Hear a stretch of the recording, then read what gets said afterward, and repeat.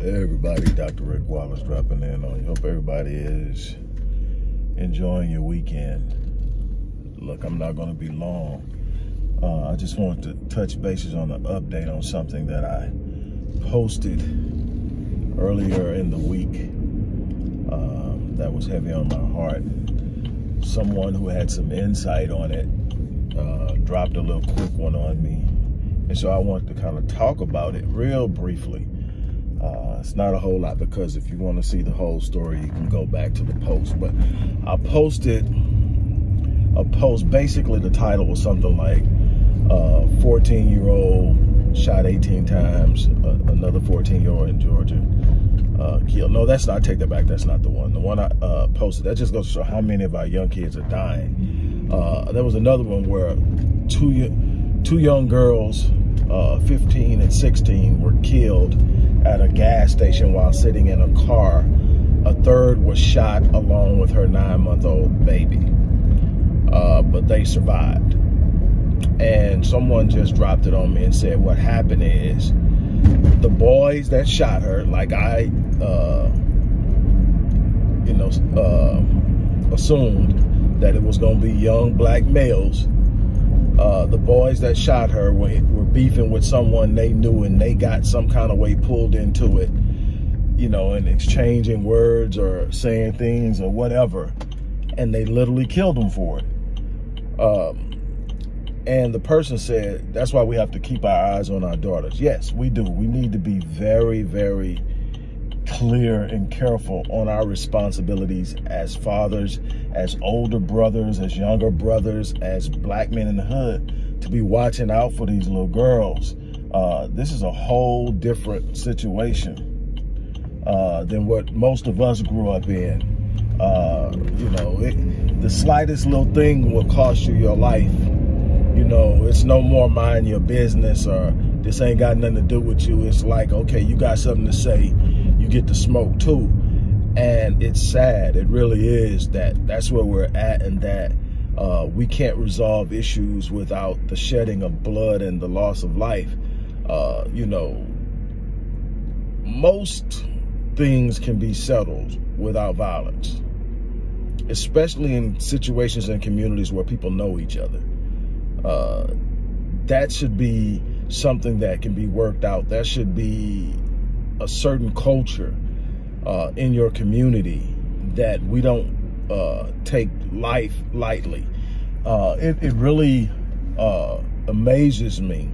Uh, those who follow me know that the organization Black Lives Matter is on my target list. I can't stand that. And so to, to, to, to hear the term Black Lives Matter just rubs me raw. But we talk about it so much. Everybody's hashtagging it. Everybody's talking about Black Lives Matter. And uh, a, a, lady by the name of, a grandmother by the name of Stephanie Covington, who I brought on uh, the Black Voice to talk about how the senseless murder of her 19-year-old grandson made a point. Says it seems that the only time that Black Lives Matter is when the black life that's lost is taken by a white police officer. Um, because we're losing a whole bottle, a bunch of lives in the black community. Now, I, I, I have written, I have lectured uh, to great extent on uh, the myth of black on black crime. And people say, well, obviously black people are killing black people, so why isn't there black on black crime? Because uh, violent crimes are normally a proximal uh, reality, meaning that they happen based on proximity. What you're around the most is more than likely what you're going to have uh, emotional issues with that normally leads to violence. Normally, uh, most violence is heat of the moment, and that happens around people you know. So if you were to look at uh, whites, for instance, if you look at whites, for instance, 85% of white people who are murdered are murdered by other white people. And those numbers go along the borderline. Now, truth, truth be told, that rate goes up to 90 plus in the black community, but that's a number of other issues involved. Poverty, lack, a lack of a, uh, a, proper socialization system, a bunch of other things that increases the rate of violence.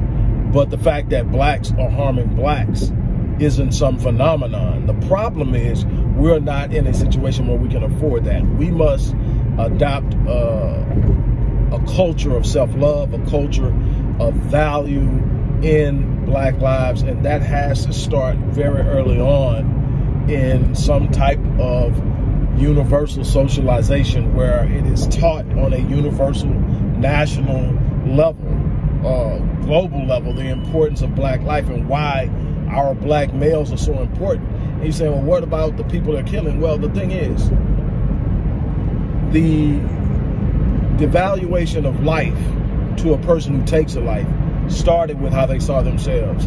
When people tend to see themselves in a situation in which they see themselves as being extremely valued, valuable, they tend not to want to risk themselves to stupidity. Second of all, they tend to see the value in other people who they can relate to, i.e. people who look like them. So when you want to talk about addressing value, you have to first start about instilling value. And you instill value in each individual starting early on in life. You, you have to create a culture where the the lead is respect and love and an understanding of how important. If I don't understand how important I am, I don't see a I don't see a purpose and a place. And I'm just I'm just here and I'm gonna do whatever. And I can tell you that it's not based on intellect, it's not based on academic capacity, because I can tell you I was an A student and I was headed to a quick death because I had a quick temper. And I wasn't afraid of anything. And so it's by the grace of God that I'm still here. That's that's all I can tell you. God had purpose on my life, and so uh, that's all I can tell you because I, I, shouldn't be. Lord knows with some of the things that I've been through, I shouldn't be. But what happened is that was a point where I realized that that was a purpose bigger than me, and it started with my firstborn. And then I realized, wow, I can't leave this, can't leave this kid. I can't leave this kid to fend for themselves. I can't leave this kid to figure this thing out. Uh, a lot of it, we're going to grow up together because I was young. We're going to grow up together, but we're going to figure it out. And it changed everything. Now it was important for me to be here. And, and, and, and the crazy thing is, I started looking at other black males my age and saying, man, I don't want to rob their family of them. I don't want to rob them of maybe doing something unbelievably exceptional because of who they are now, you know, and I know a few of them that turned out well. A lot of them were lost to the game. But there were a few that you would have looked at them and you like, just like me, kid's not gonna make it. You know, everybody was like, Rick, Rick was two different people. The person in the school, the teachers would never know was the person out there. And I never started one thing in my entire life. I never sit up and just was out messing in anybody else's business. I wasn't out there trying uh, to hustle and gank nobody. I wasn't out there uh, doing crazy stuff. I didn't get affiliated with any gangs. I just had a real sharp fuse. I didn't start it, but I had a, literally a propensity to finish this stuff. And so it was like I walked around with a chip on my shoulder. Just, just please mess with me. And, you know, again by the grace of God. But the thing is, life will snatch you out of destiny, but life will also cause you to snatch other people out of destiny. And everybody loses. We can't afford that in our community. These baby girls, you know, you would think if you're in the street, you know the street, you know the rules, you know the code, you don't get involved in stuff, you know. But the thing is, nobody thinks ahead. Nobody is trained and taught to think and project ahead, to think about what their decisions will lead to. Nobody is thinking, you know, what happens if this gets deep and they roll up on us? You know, how will my mama feel if I'm 15 years old and she's got to bury me? How will my mama feel if I'm 16 year old, 16 years old and she's got to bury me? You know, what am I doing? You know, but more importantly, why don't I have something in my mind in my life at 15 and 16 that I'm I'm striving for that keeps me focused and out of bull crap? We're missing on so many different uh, aspects of developing children that win. Building strong children, building strong black men, strong black young sisters. We're missing, and it's on us. I just had to come back. Those babies died because they got caught between uh, a group of two groups of dudes beefing about something. And then the crazy thing is the dudes are still alive and the girls are dead. And again, that cannot be acceptable. The OGs in the hood, we need to sit down with them. The old, I mean, serious, real OGs in the hood. They know better, but they're not doing anything about it. They, they I don't know what it is, but these young cats need to be reeled in. And it may get hard before it gets better, but they got to be reeled in, or we we might as well just pack it up. You know, you know, I'm telling you like this here.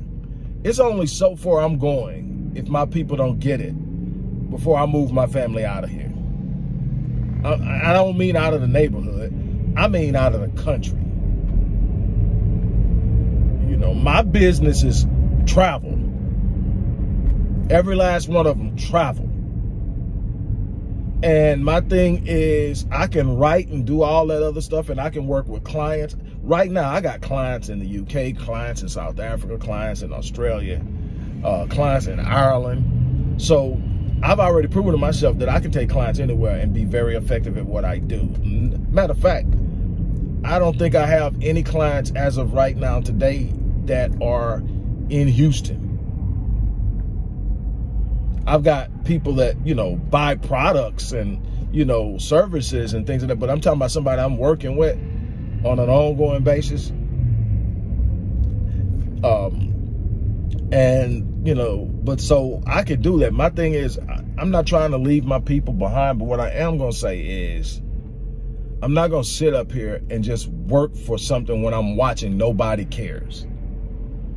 You know, when I get to that point where I believe nobody cares. When I mean nobody, I mean enough people to make a difference. When we get to that threshold where, where we don't have enough people to make an impact, and we're just sitting up here watching each other kill each other and, and throw our lives away and, and, and yield to the system in, in, in mass numbers. And we're not that far off. We're not that far off. But when I get to that point, I'm going to pack my family up. Those that are still young enough, and I don't have that many. Thank God, I, most of mine are gone. You know, I'm gonna tell those y'all want to roll, y'all roll, but we, we we setting up somewhere remote where we can chill. All I need is internet connection, and that's almost guaranteed anywhere now. You can sit up and pull it from satellite. So I'm I'm there right now. I want to see what I know is possible, but we can't keep letting our kids kill each other and think we're going to actually experience liberation and empowerment. Your future is destroying itself right in front of your eyes. And what they're going to do is create another generation that's worse. It's hard to look through life and see generational epiphanies where two or three generations have a massive decline and then a generation comes along and decides, man, they've been doing it wrong. We're going to do it different.